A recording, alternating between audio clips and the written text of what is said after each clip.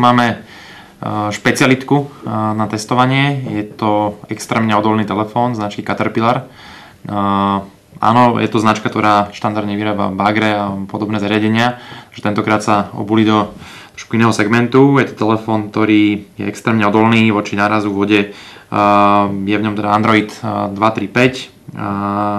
Okrem toho um, je tam možnosť vložiť dve simky. Pre stavebníkov, pre športovcov, extrémnych športovcov úplne super vec. Pre manažerov asi by to nebolo úplne štýlové, keby ste si ho videli na stretnutí.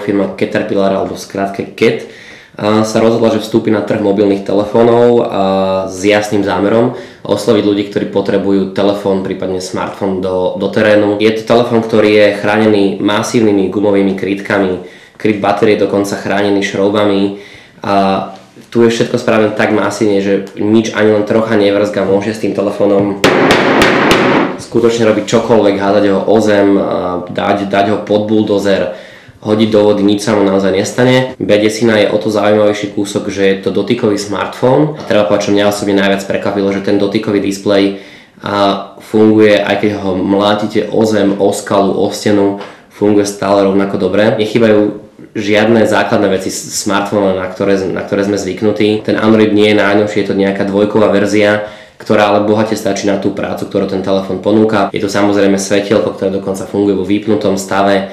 A telefón, čo na ňom najzaujímavejšie, obsahuje dve, šach, dve šachty na SIM karty. Stojí zhruba, dá sa na internete zohnať už v cene okolo 300-310 eur. Nástavby, do terénu, na hory, kde nechcem brať ohľad na to, čo sa s telefónom robí, tak toto je úplne ideálny kus a tá cena za to, za to stojí.